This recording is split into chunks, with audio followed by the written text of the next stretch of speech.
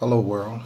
This is the day that the Lord made for you, made for me, made for us to rejoice in. I pray that you rejoice in on this beautiful, beautiful day. And I'm just coming to you. My name is Marlon Reid to talk to you about my book, The Diary of a Changed Man. Yes, this is my book, my testimony, and I wrote this book because I wanted to give back to the young children, the young men, the young women, and ultimately the grown people to let them know, man, you can change, um, to let you know that God is with you, to let you know the blood is real, and um, to let you know my testimony um, can inspire others to, to get out them rehabs and stay out them rehabs, to get out of jail and stay out of jail and stop selling drugs and um, go get a job and a, a legal job. And it, it, tells you just about all the things that I went through from a young child dealing with my mother and my father um, issues and family issues and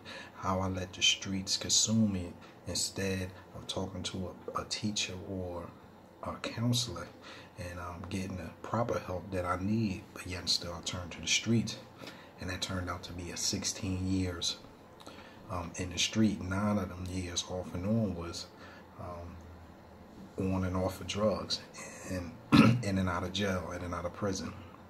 So, and I got a chance in 2005 to surrender my life over to God and change my life and just start walking a path that God allowed me to walk. And that's what this book is all about, man. To show you so many things, real life events. Is it inspire people to to, to help them in so many ways. You know, if you need a job, if you need to push and strive, you need to stop selling drugs, need to get off drugs, you know, need to turn your life around. That's what this book is about. The Diary of a Changed Man. Thank you. Peace.